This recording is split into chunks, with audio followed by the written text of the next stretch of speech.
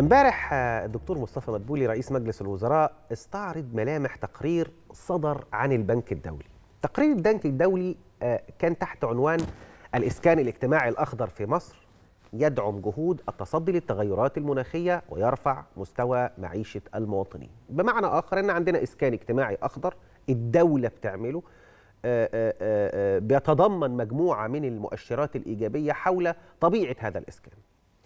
التقرير الصادر من البنك الدولي أوضح أن مصر بتتبنى برنامج وطني للإسكان، هذا البرنامج بيرتكز على ممارسات البناء الأخضر في وحدات الإسكان اللي بيتم إنشائها على الطبيعة. خلينا نتكلم بشكل أكثر تفصيلا، معنا على الدكتور معنا على الهاتف الدكتور مجدي علام الخبير البيئي اللي هيكلمنا عن تفاصيل تفاصيل هذا المشروع وكيف يمكن قراءة تقرير البنك الدولي وكيف يمكن أيضا أن نستغله. صباح الخير يا دكتور واهلا بحضرتك. صباح الخير أهلا وسهلا. كيف يمكن أن نستغل تقرير البنك الدولي عالميا يا دكتور في التسويق للقضية المصرية بشكل عام ولجهودنا في مكافحة التغيرات المناخيه؟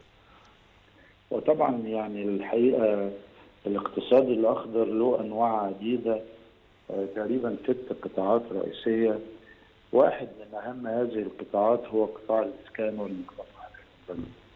وقطاع الإسكان والمجتمعات العمرانية هو تقريبا القطاع القائد لما يطلق عليه يعني صداقة المناخ وليس إفساد المناخ يعني. وصداقة المناخ في العمران تسمى العمارة الخضراء. وهذه العمارة الخضراء تفكرنا بالبيوت القديمة بتاعتنا اللي كان موجود السور والبيت وبعدين في فناء مفتوح. الفناء المفتوح ده طول النهار شمس وهواء صحي دون تكييفات.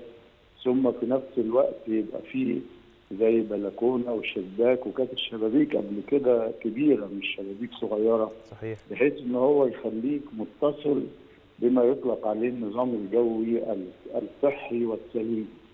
في نفس الوقت هذه العمارة الخضراء تخفض من استهلاك الطاقة تعتمد على الطاقة الشمسية وليس طاقة الاحفوريه الفحم والبترول وغيرها.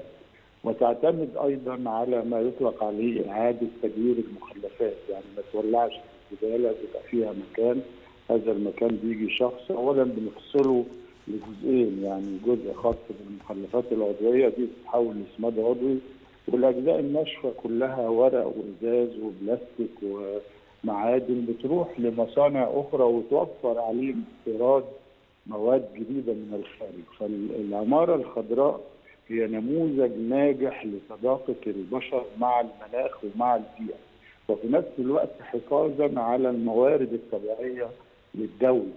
سواء هذه الموارد أراضي سواء هذه الموارد مياه لا تستهلك بطريقة فيها إسراف أو تسرب. وبالتالي حتى يعني حملة حياة كريمة حتى تباطين الترع جزء رئيسي مكون ليها حفاظا على هذه المياه.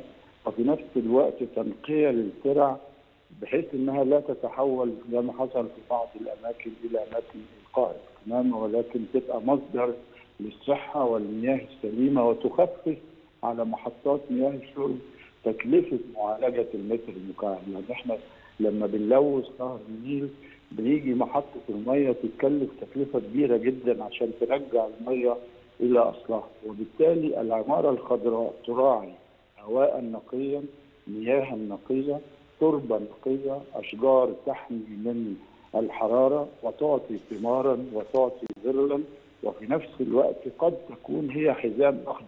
الحزام الأخضر اللي البعض بينظر ليه على انه ديكور لا ده الحزام الأخضر اللي اتعمل جزء كبير منه حوالين القاهرة الكبرى مم. هذا الحزام الأخضر يحمي من التصحر ويحمي من الرمال والأتربة مم. ويخفف الحرارة عن المدن خصوصا مدينة القاهرة والعواصم الجديدة لأن مصر دولة تنتمي إلى النظام الصحراوي أكثر منها م. إلى النظام اذا يا دكتور كل ما ذكرت يمكن يعني هي الأسس اللي بيرتكز عليها البرنامج الوطني للإسكان القائم على البناء الأخضر لا هو ده الأساس بتاع م. البناء الأخضر يعني الحقيقة نموذج مصري جيد جدا يضاهي أحدث نظم العمارة في الخارج وفي نفس الوقت يحافظ على التراث المصري في تصميمه وفي معيشة الإنسان المصري. م. وفي نفس الوقت يعطي نقاء للبيئة ويعطي صحة للبشر خصوصا